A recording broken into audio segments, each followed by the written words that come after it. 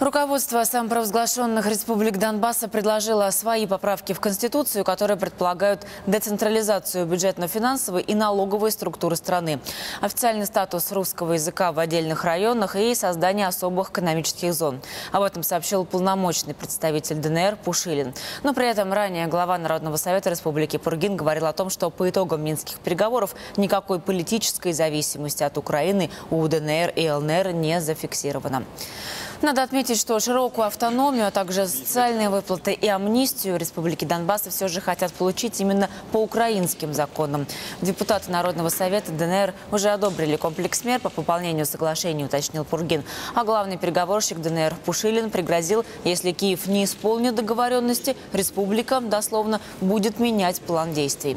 Ну, в общем, заявления сторон конфликта у многих политологов вызывают опасения за будущее еще не начавшегося перемирия.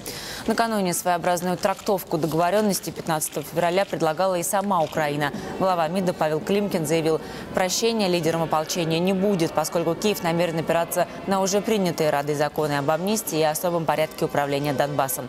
Новых документов не предвидится.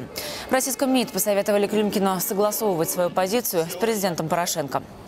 А политологи единодушны, Минск-2 полон противоречий, и его трудно исполнить. Так что стороны, и в первую очередь Украина, смогут уклоняться от ряда условий. Иначе Киев ждет тяжелейший политический кризис, вплоть до нового Майдана. Такое мнение прозвучало накануне в программе «Таманцев. Итоги».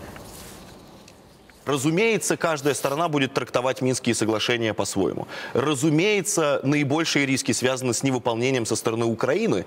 И украинские власти можно понять, и Климкина можно понять. Даже То, что было скажу. подписано в Минске, очень многими представителями нынешней украинской майданной элиты трактуется как предательство украинских национальных интересов. И если Порошенко будет выполнять букву Минских соглашений, ему грозит новый Майдан. Самопровозглашенные республики Донбасса предлагают Киеву в ближайшее время провести очередной раунд переговоров контактной группы. В качестве возможных мест встречи называют Минск, Астану и Новоазовск. Президент Украины предупреждает, если 15 февраля не будет соблюдаться режим прекращения огня, он потребует экстренного созыва Европейского совета, сообщила пресс-служба украинского лидера.